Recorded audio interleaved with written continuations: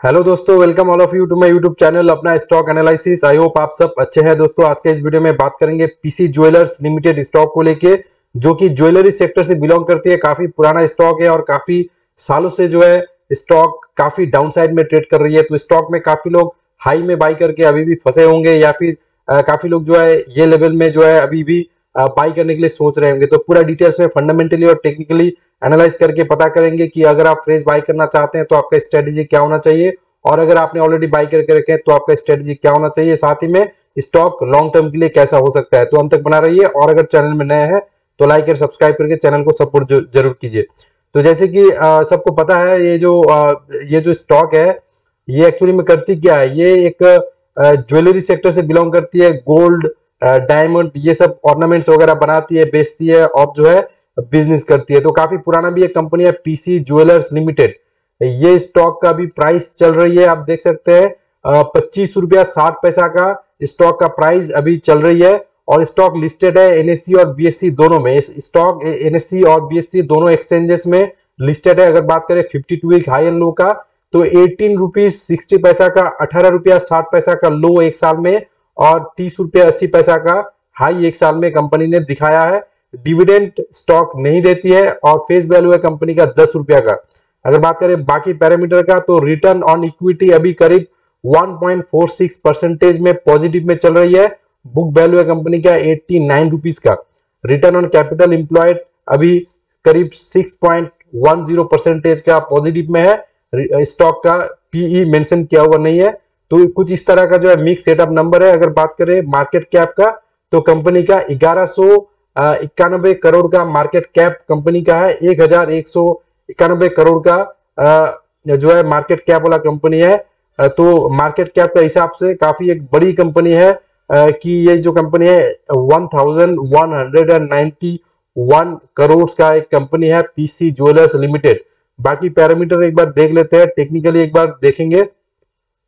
Technically जैसे कि सबको पता है कि स्टॉक ने कुछ इस तरह का डाउनसाइड दिखाया था, जो कि ह्यूज डाउनसाइड स्टॉक ने बनाने के बाद जो है, आप देख सकते हैं 2000 2020 से लेके 2020 से लेके, अभी 22 हो गया तो करीब दो साल में कंपनी के स्टॉक एक ही जो है प्राइस में करीब करीब ट्रेड कर रही है। फोर्टी रुपीज़ का नीचे और दस पंद्रह रुपए का ऊपर जो है कंपनी इसी रेंज में काफ़ी महीनों से या फिर सालों से बोल सकते हैं कि काफ़ी सालों से जो स्टॉक ट्रेड कर रही है। अगर बात करें एक साल का मूवमेंट का तो कुछ इस तरह का जो है चार्ट पैटर्न स्टॉक ने एक साल में बनाया है, जो कि आप देख सकते हैं स्टॉक अभी 200 डेज़ मूविंग एवरेज का ऊपर ट्रेड कर रही है और 50 डेज़ मूविंग एवरेज का भी ऊपर जो है ट्रेड कर रही है। तो स्टॉक ने कुछ इस तरह का मिक्स सेटअप जो है चार्ट पैटर्न बनाया है, कभी अप कभी डाउन कभी अप कभी डाउन तो स्टॉक अभी तक जो है सेटल्ड नहीं है।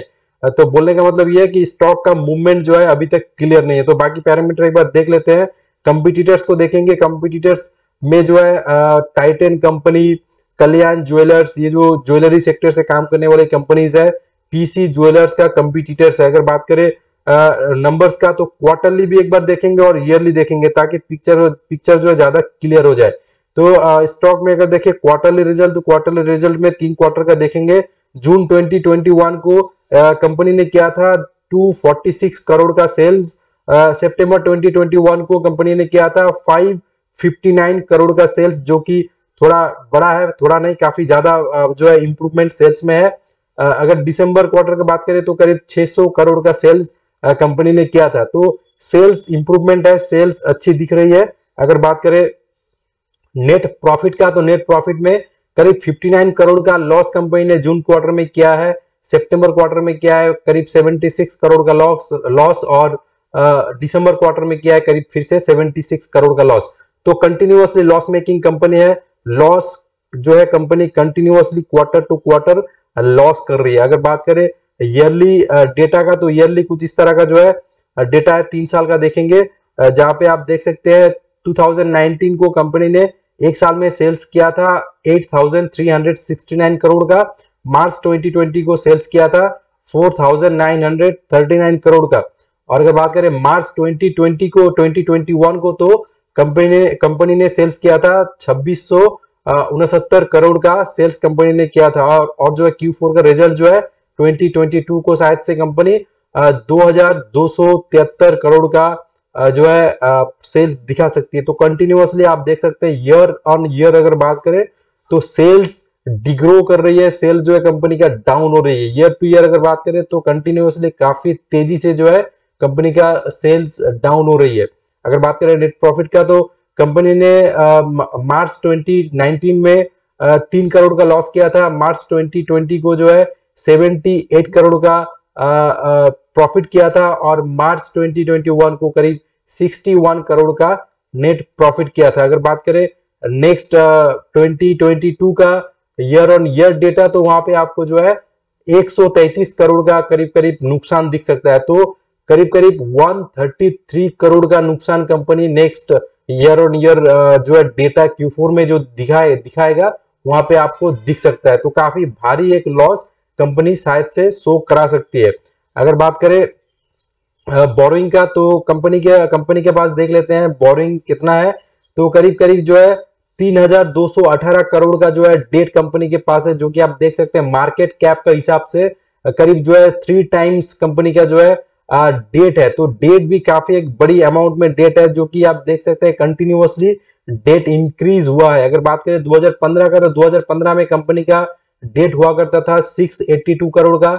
2020 में कंपनी का सेल्स डेट हुआ करता था चौबीस करोड़ का। लेकिन अभी आप देख सकते हैं करीब थर्टी टू एटीन बत्तीस करोड़ का डेट कंपनी के पास है। तो कंटिन्यूसली कंपनी जो है लॉस मेकिंग कंपनी है लॉस कर रही है ईयर ऑन ईयर और अगर बात करें डेट का तो डेट जो है कंपनी का, साल दर साल, हर एक साल जो है कंपनी का क्वार्टर टू क्वार्टर भी अगर बात करें तो कंपनी का डेट जो है कंटिन्यूसली बढ़ रही है, जो कि काफ़ी नेगेटिव बात है स्टॉक के लिए और कंपनी के लिए। अगर बात करें बाकी पैरामीटर का तो एक बार होल्डिंग स्टेटमेंट देखते, देख लेते हैं। शेयर होल्डिंग पैटर्न में आप देख सकते हैं कि 54 54.53 परसेंटेज का स्टेक अभी होल्ड कर रही है प्रोमोटर्स जो कि थोड़ा सा बड़ा है एज कंपेयर टू दिसंबर 2020 क्वार्टर ईयर से। जो है दिसंबर 2020 में कंपनी का प्रोमोटर के पास हुआ करता था 46.44 44 परसेंटेज का स्टेक अभी जो है 54.53 परसेंटेज का स्टेक प्रोमोटर होल्ड कर रहे हैं। अगर बात करें एफ़ का तो एफ़ भी होल्ड कर रहे हैं वन परसेंटेज का, जो कि पहले से जो है काफ़ी डाउन हुआ है। अगर बात करें डीआईआई का तो डीआई का डीआईआई का जो है स्टेक 1.49 परसेंटेज का है और डीआईआई ने भी अपना जो है, अपना जो है स्टेक काफ़ी कम किया हुआ है। और बाकी जो बाकी जो होल्डिंग है पब्लिक क्या है 42.97 परसेंटेज का स्टेक यहाँ पे होल्ड कर रही है पब्लिक तो कुछ इस तरह का जो है शेयर होल्डिंग पैटर्न अगर बात करें रिटर्न का तो कंपनी ने कुछ इस तरह का रिटर्न जो है लास्ट कुछ सालों में इन्वेस्टर्स को दिया है। अगर बात करें एक वन मंथ में तो वन मंथ वन मंथ में कंपनी ने करीब तेईस परसेंटेज का रिटर्न दिया है। तीन महीना में माइनस में है तीन परसेंटेज का। छह अगर बात करें एक साल का तो एक साल में कंपनी ने दिया है 8.87 परसेंटेज का रिटर्न अगर बात करें तीन साल का तो तीन साल में कंपनी ने जो है करीब 81 परसेंटेज का जो है नेगेटिव में रिटर्न इन्वेस्टर्स को दिया है। तो कुछ इस तरह का जो है एक कंपनी जो पीसी ज्वेलर्स जो कि लॉस मेकिंग कंपनी है प्रोमोटर का स्टेक ठीक है, लेकिन कंटिन्यूसली एफ़ ने अपना स्टेक को डाउन किया है डीआईआई ने अपना स्टेक को डाउन किया है, और स्टॉक कंटिन्यूसली जो है डेट जो है बढ़ रही है स्टॉक में। सेल्स कंपनी का डाउन हो रही है